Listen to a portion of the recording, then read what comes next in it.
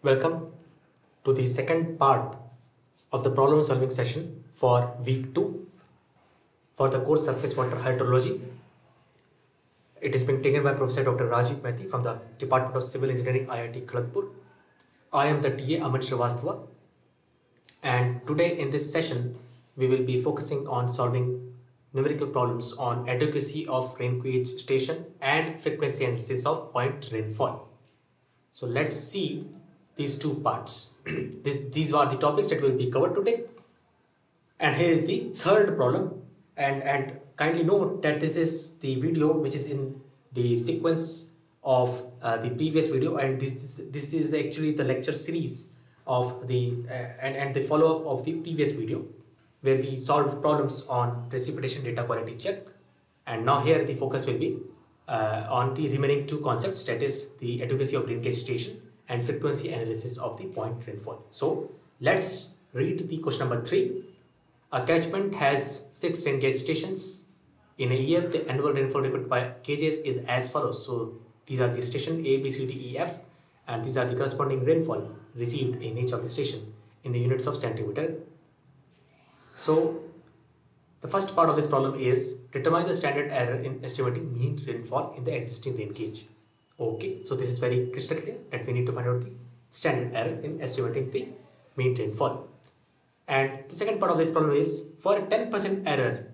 So now here the error is already given that is 10%. So for a 10% error in estimating the mean rainfall, calculate the optimal number of rain gauge stations in the catchment. So in the second part we are required to find out how many rain gauge stations are in reality required for the given conditions. So let's see how to solve such problems.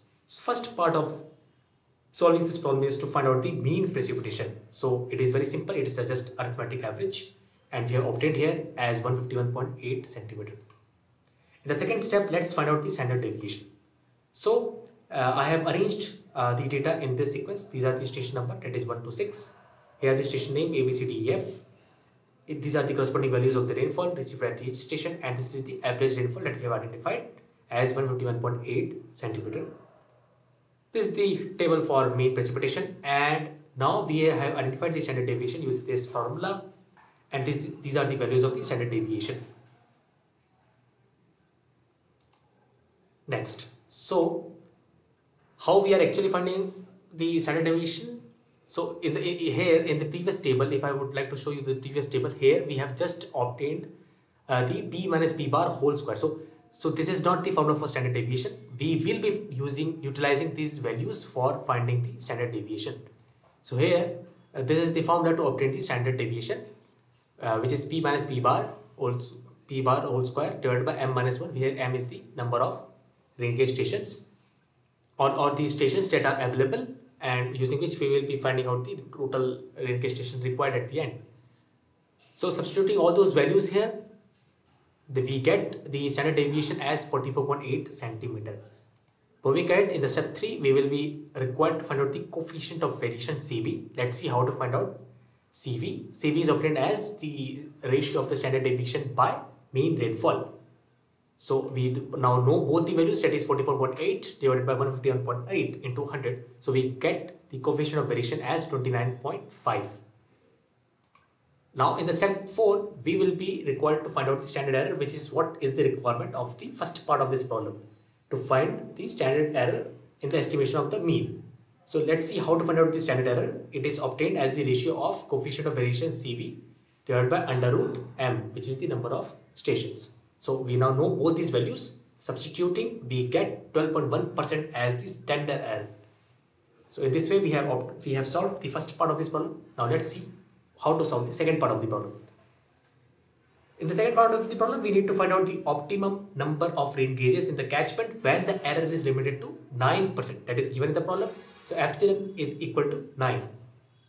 So how to find out the optimum number of rain gauge? Here is the equation. This capital N is equal to CV upon epsilon uh, to the whole square gives uh, the optimum number of rain gauges. So substituting this value N, uh, we get 29.5 divided by 9 whole square is equal to 10.8 that is 11. So here the optimal number of gauge required is 11. But kindly note if it is asked in the problem to find out the additional number of rain gauges required, then our response will be 11 minus 6 which is equal to 5 because already 6 station rain gauge stations were there so subtracting the 6 from the optimal number of rain gauge required we get the additional number of rain gauges required which is 11 minus 6 is equal to 5 i hope you were able to follow this problem now let's move ahead and solve the last problem of the problem solving session for week 2 this is uh, on the concept of frequency of point rainfall let me read the problem for you. Data analysis on the maximum one day rainfall depth at New Delhi indicated that a depth of 500 mm had a return period of 80 years. Determine the probability of a one day rainfall depth equal to or greater than 500 mm occurring for these four different conditions. So the first condition is once in 25 successive years. Second condition is three times in 25 successive years. Third condition is not at all in 25 successive years. And the fourth condition is at least once in 25 successive years. This should be D. So now let's find out the probability of a one day rainfall depth equal to or greater than 500 mm for these four conditions. So these are the uh, maximum possible four conditions that we have taken into account. So this one problem exclusively provides information about all the four conditions that we have to take into account to solve the problem on frequency of point rainfall. Right, so in the step 1, here we need to find out the probability of occurrence of a event denoted by P of a random variable rainfall in this case whose magnitude is equal to or excess of specified magnitude x and which is nothing but given by p is equal to 1 by t. Here t is the time period. So p is equal to 1 by 80. 80 is what the time period which is given to us. So the value came as 0.0125. So the probability of the event not occurring will be q is equal to 1 minus p and 1 minus p we have already obtained as 0.0125 so q we get 0.9875. I hope you were able to follow the step 1. Now let's move ahead to step 2 where we are supposed to find out the probability of occurrence of the event r times n successive years using binomial distribution. So this is the formula that we need to use that is obtained via binomial distribution. So substituting the first case of this problem. So in the step 3 we have taken the first case that is case A where once in 25 successive years condition was given to us. So in this case what we are supposed to do is to find out the probability of occurrence of the event r equal to 1 because it is given once in 25 successive years. So r is equal to 1 and n is equal to 25. Here the 25 successive years is nothing but n with regards to binomial distribution equation. So P we have already obtained that is 0.0125, Q we already know 0.9875. So substituting the values of R, N, P and Q in this equation and solving it, we get the probability of occurrence of once in 25 years is 0.231. I hope you were able to follow the first part of this problem. So in the similar fashion, let's go ahead and solve the remaining parts as well.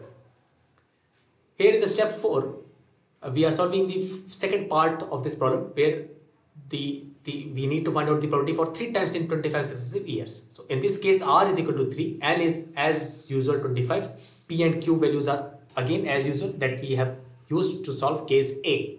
Substituting these values in the binomial distribution equation, we obtain the probability as 0.0034. Taking our discussion forward, let's solve third case which is not occurring at all in 25 successive years. So how to solve this part? Here the r is equal to 0 and n is equal to 25. So if you substitute r equal to 0 in the equation, you will find that you are only left with q power n. So here this is q which is 0.9875 and power n is nothing but 25. So substituting this value, you get the probability of occurrence for this condition as 0.7302 and if we move ahead and look at the last case which is at least once in 25 successive years so it is simple. You have to just subtract the previous response. Previous response was this one where we estimated the probability of not occurring at all in 25 successive years so what will be the probability of at least once? So that, that is the remaining probability. So 1 minus the probability of not occurring at all in 25 years which is what we have obtained here 1 minus not occurring at all in 25 years. This is 1 minus 0.7302 and you get 2.2698.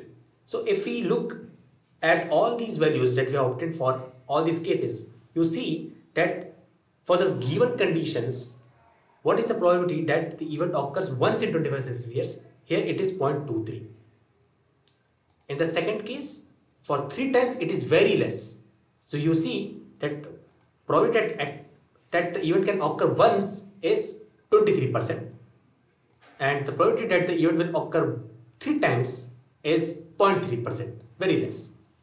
And the probability that the event will never occur in that 25 successive years is 73%. So you can see that there is, there is high chances, that is 73% chance that the event will never occur in the 25 successive years. Likewise, for the fourth case, we see that what if at least once the event occurs in the 25 successive years, that comes out as almost 27%. So in this way, you are able to gauge uh, about the given, based on the given conditions, you can identify what are the probabilities of occurrence of different number of events in the given successive years. So I hope you were able to analyze all these two concepts and different conditions that we have taken into account while solving the problems of adequacy of rain gauge stations and frequency analysis of a point fold. Thank you for being there. Stay connected for more problem solving sessions for the course surface water hydrology. Thank you